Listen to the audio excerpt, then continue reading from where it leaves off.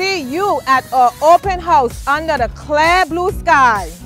Come out and join us on Wednesday for our open house. There will be live music by DJ Wiz, also refreshments, giveaways, and also our staff will be accepting application form for processing.